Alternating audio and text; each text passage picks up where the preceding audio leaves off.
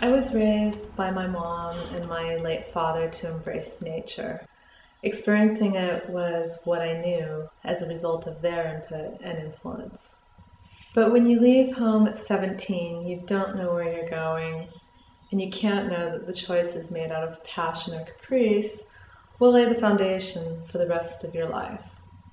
I left San Francisco in 86 as an artist, skater, and punk, propelled by teen angst to follow a drummer boy to Europe. Eventually, home became the fabulous city of Berlin, where I blossomed as a social elite, the wife of Baron Elmar von Hoesslin.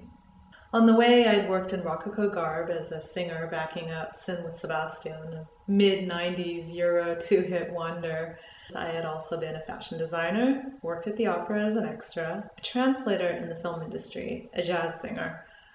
Life was exciting with everything from red carpet parties to underground clubs, art shows, love parades, salons, and of course, witnessing the fall of the Berlin Wall. Change washed over me again while on tour in Cornwall, England, summer 1997. I discovered surfing. I'd found a new passion. In ensuing years, I would embark on surf trips abroad, frequently alone. One day, on my return, the D word arose.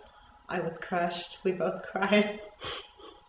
I arrived in Santa Cruz, California after 17 years abroad a piece of flotsam on the jet stream tide. My world had morphed. I needed my own physical life, and I needed a vocation that embraced a surfing lifestyle.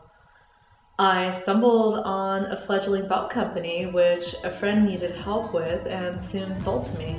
Betty Belts was born and the ride began.